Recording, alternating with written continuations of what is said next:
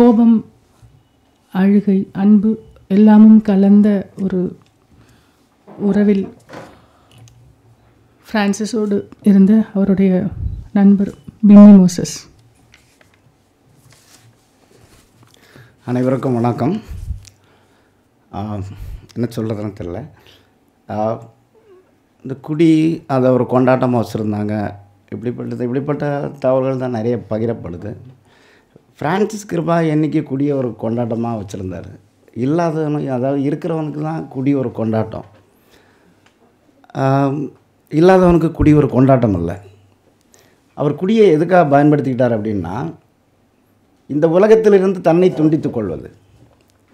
தன்னிலிருந்து தன்னை துண்டித்துக் கொள்வது.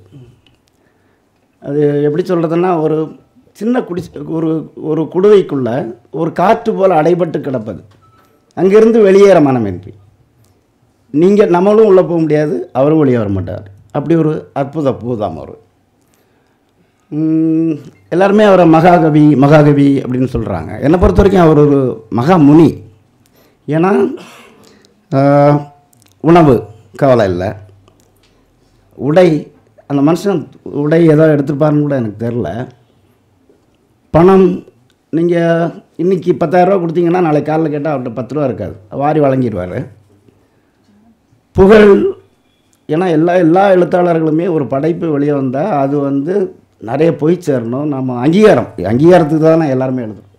ஆனால் ஃப்ரான்சிஸ் வந்து இத்தனை படைப்புகள் கொடுத்தும் கூட அந்த படைப்பு போய் சேரணும் அப்படின்ட்டு ஒரு சிறு ஒரு ஒரு ஒரு ஒரு இலையை கூட கிள்ளி போட்டது கிடையாது. அது குறித்து பேசுவது கிடையாது.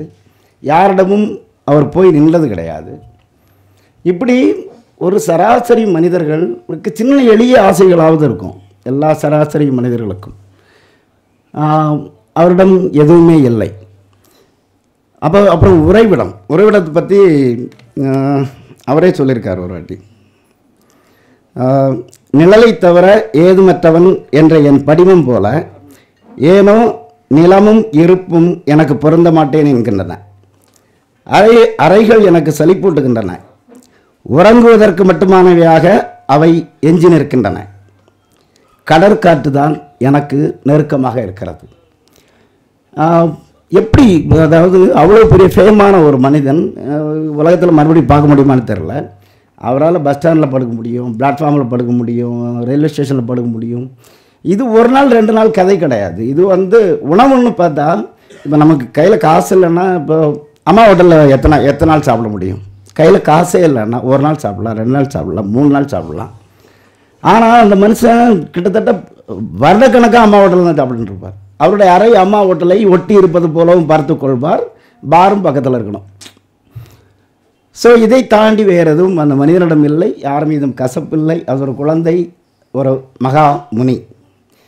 அப்புறம் உறைவிடத்தை பற்றி சொல்லும்போதுக்கு போன வருடம் அவர்கிட்ட ஒரு பயங்கரமான நான் என் ரூமை மாற்றி ஆகணும் நிறைய எழுதணும். ஏறக்குறைய இறைவன் அப்படி இருக்குது அது இப்படி இருக்குது இது இப்படி இருக்குது அப்படின்னு சொல்லிட்டு இருக்கும்போதைக்கு போன வருடம் நாங்கள் வந்து மரியாதைக்குரிய கவிஞர் தமிழச்சி அவர்களை வீட்டில் போய் சந்தித்தோம் அப்போ அவர் நீங்கள் ரூம் பார்த்து வச்சுட்டு எனக்கு சொல்லுங்கள் அப்படின்னாரு. அப்புறம் அதுக்குள்ளே ரூம் பார்த்துட்டு இருந்தோம் ஏன்னா ரூம் பார்த்துட்டு இருக்கும்போதுக்கு ஃப்ரான்சிஸுக்கு தோதுவான ஒரு அறையை பார்ப்பது என்பது கொஞ்சம் கடினமான விஷயங்கள். அப்போது அதுக்கு தோதுவான இது விஷயங்கள்லாம் பார்த்துட்டு இருக்கும்போதுக்கு தான் மறுபடி ஜிஹெச் மறுபடி எல்லாமே. என்ன சொல்கிறதுன்னு தெரில சக்தியின் கூத்தில் ஒளியூர ஒளியூர் தாளம் வெளியீட்டு விழாவுக்கு கவிஞர் மனுஷ் சொன்னார். ஒரு மிக முக்கியமான விஷயம். அதாவது உங்களுடைய கவிதை இங்கு முடிந்து விட்டது. மறுபடியும் நீங்கள் ஏன் அதை நீட்டித்து கொண்டு போகிறீர்கள்? அப்படின்னு கேட்டார். அது எந்த கவிதையை சொன்னார்னா ஒளி வாடி இருந்தது அப்படின்னு நினைக்கிறேன். ஒளி வாடி இருந்தது இங்கே கவிதை முடிஞ்சிருச்சு. அதுக்கப்புறம் ஏன் நீட்டிச்சுன்னு போகிறீங்க அப்படின்ட்டு.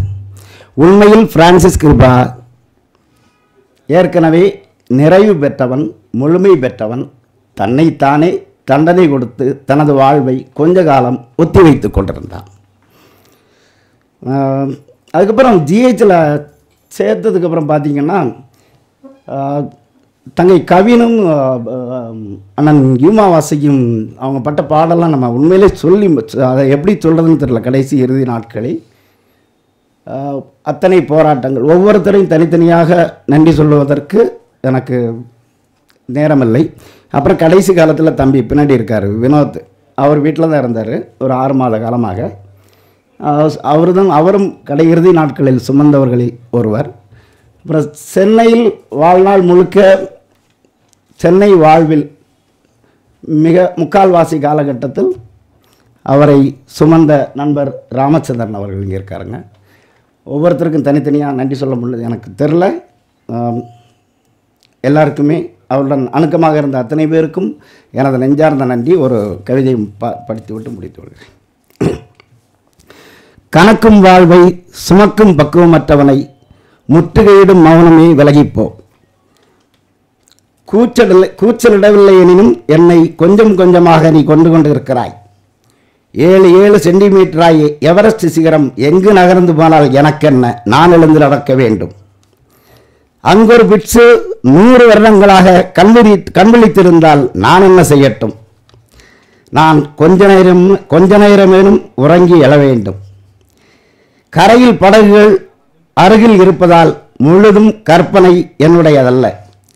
கடவுளுக்கு ஆள் தேடும் கனவுகளுக்கு அஞ்சி புயலாடிய ஏழு கடல் நடனங்கள் கண்டு பிதுங்கிய விழிகள். கைகளுக்கு எட்டாத தூரத்தில் எண்ணிக்கொண்டுதான் இருக்கிறேன். திருட்டு போல் நான் மீளாத ஏழாவது அதிகாலை இது. நன்றி வணக்கம்.